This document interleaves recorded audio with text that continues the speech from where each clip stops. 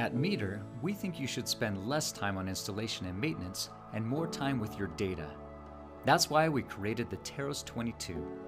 The Teros 22 is our next generation soil water potential sensor designed to get you accurate data in the simplest way possible. It uses the same advanced technology as the Teros 21, but is easier to install and remove.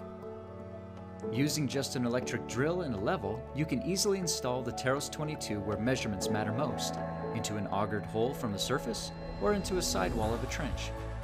Just slide the sensor into the borehole, connect the cable to your ZL6 data logger, and start streaming soil water potential data directly to Zentra Cloud. Data in Zentra Cloud can be visualized and analyzed remotely from anywhere. The Teros 22 is designed to withstand seasonal changes and it can be left in the soil year round. If you need to remove it, simply pull it out from the soil and store it for next year. Cable is available in four lengths, making it possible to take measurements at the depths you need most. Get fast, accurate measurements with our newest easy to install water potential sensor. That's the simplicity and precision you get with the Teros 22.